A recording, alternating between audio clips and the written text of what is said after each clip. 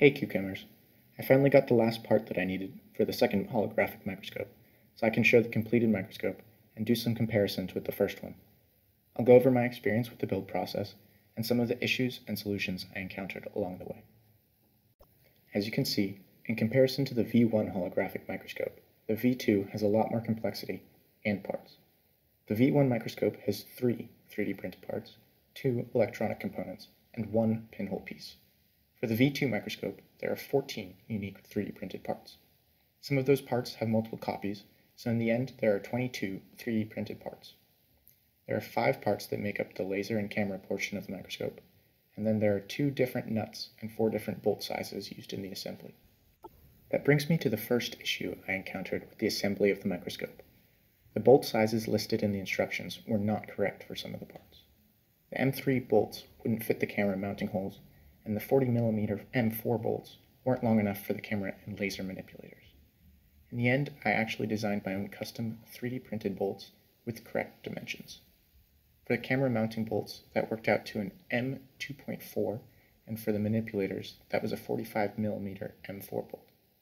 I think if the group that produced this design does an update, they should include these 3D printed bolts, since it would simplify things to have as much 3D printed as possible and not have to source extra components. Plus, since the bolts aren't subjected to a lot of force or movement most of the time, I don't think they really need the extra durability of metal. Even if they do wear out, you can just print some new ones. 3D printing the nuts and bolts also solved another issue I was having during the microscope assembly process. Some parts didn't seem to have the right tolerances and wouldn't fit as intended depending on the orientation I printed them in. I could fix that to some degree by orienting the models differently when printing them, but that often required awkward supports that were difficult to remove. The worst was the prints that needed the embedded nuts to produce the screw action. Once I switched to the 3D printed nuts, I could customize the height so that they fit every time. Other than that, the assembly process was fairly straightforward. The documentation on GitHub is pretty good, with images and videos to show where things should go. One thing that I think they didn't mention is that you'll need to glue certain nuts in place for the manipulators to work. The other nice thing was that the original creators responded quickly to questions when I contacted them and gave helpful advice on the assembly. I'm still learning the process for the holographic image processing, so I don't have good images to show from the V1 or V2 microscopes for comparison.